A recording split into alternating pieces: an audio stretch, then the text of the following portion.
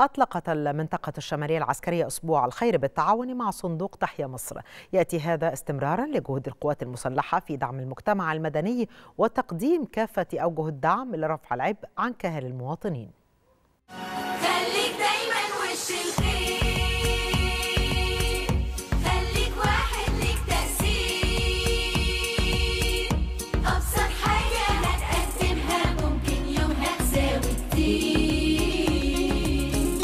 استمرارا لجهود القوات المسلحة في دعم المجتمع المدني وتقديم كافة أوجه الدعم لرفع العبء عن كاهل المواطنين أطلقت المنطقة الشمالية العسكرية أسبوع الخير بالتعاون مع صندوق تحيا مصر والذي تضمن عددا من المبادرات لخدمة مختلف فئات المجتمع الأولى بالرعاية وذلك بالمحافظات التي تقع في نطاق المسؤولية. وتضمن أسبوع الخير مبادرة بلدك معاك التي تستهدف دعم 400 شاب وفتاة من المقبلين على الزواج بكافة المستلزمات المنزلية والأجهزة الكهربائية لتخفيف الأعباء عن كاهل الشباب المقبلين على الزواج ومعاونتهم في بدء حياة أسرية مستقرة.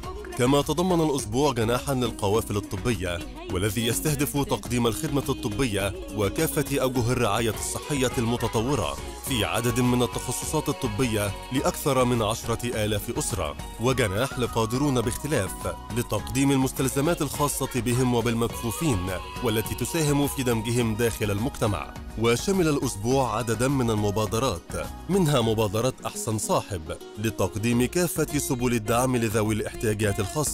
ومبادرة راجعين للمدارس لدعم الأبناء بالمستلزمات الدراسية ومبادرة بالهناء والشفاء لتوزيع مواد غذائية وسلع تموينية ولحوم طازجة على عشرة آلاف أسرة ومبادرة الكساء لتوزيع 120 ألف قطعة ملابس جديدة لمختلف الأعمار. وألقى اللواء أركان حرب هشام حسني حسن قائد المنطقة الشمالية العسكرية كلمة وجه خلالها الشكر والتقدير لصندوق تحيا مصر والقائمين على فاعليات أسبوع الخير من مؤسسات المجتمع المدني ورجال الأعمال المخلصين.